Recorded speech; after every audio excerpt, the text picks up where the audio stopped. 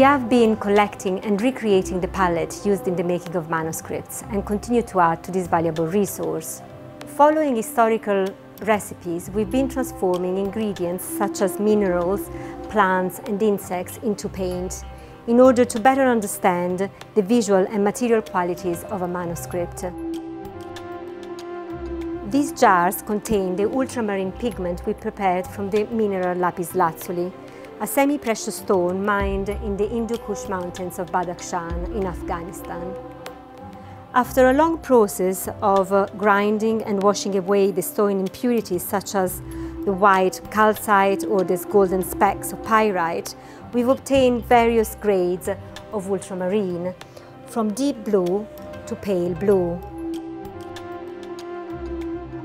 The illuminations and illustrations of this manuscript made in Shiraz at the beginning of the 16th century present a very high quality ultramarine and its skillful application.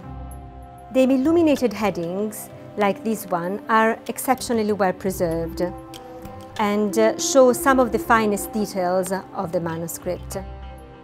Our experiments in recreating the artist's palette, together with close observation of the manuscript and scientific analysis help us to inform our methods to preserve the delicate paint layer. Areas of paint which are no longer firmly adhered are stabilized.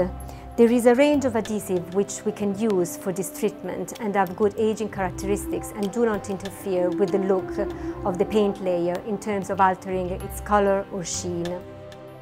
The adhesive is applied under the flaking paint and any surrounding areas presenting loss are never retouched.